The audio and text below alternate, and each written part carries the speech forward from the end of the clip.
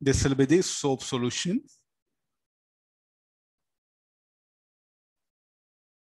It's not an arc to show that it's not an arc. So where charge charge will present this like a hemispherical shell it will become. Become hemispherical shell. So the charge is present here. Not only here, it will be everywhere here, no? Hmm, no. What are the various forces that are acting? The pressure force,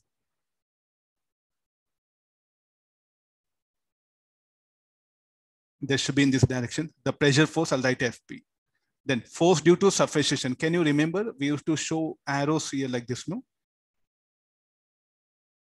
Both inner as well as outer surface, we have to show it.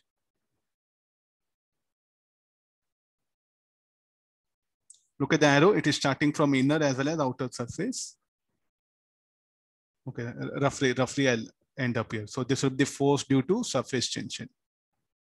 FSL, right? Then will there be any electrostatic repulsion? The, the left of will try to repel the right of. So an electrostatic repulsion will also act and that I'll show it here.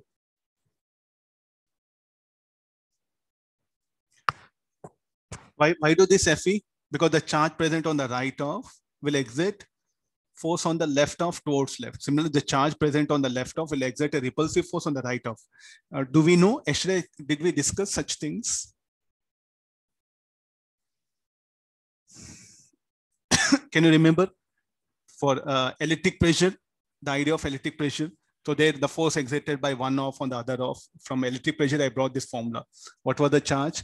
Like a q square by 32 pi f naught r square. Okay, let me equate these two. At equilibrium,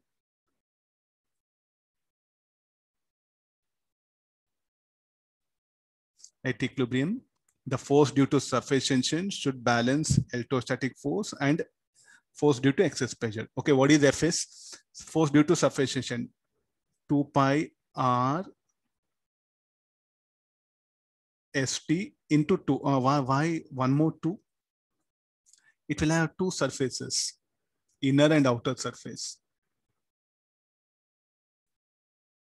Bubble, bubble will have two surface, no?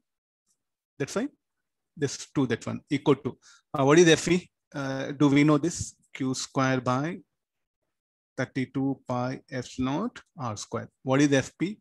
Delta P into effective area pi R square is asking this delta P excess pressure. So this will become 4 pi RST minus Q square 32 pi epsilon naught R square equal to delta P pi R square. So the excess pressure is given by um, pi get cancelled. So 4 st by r minus q square 32 pi epsilon naught r to power of 4.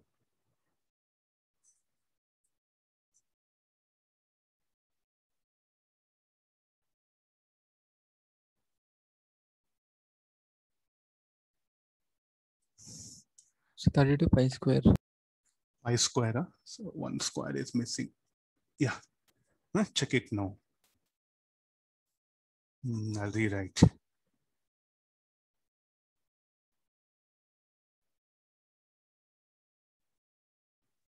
Nobody wants to draw diagram. I know.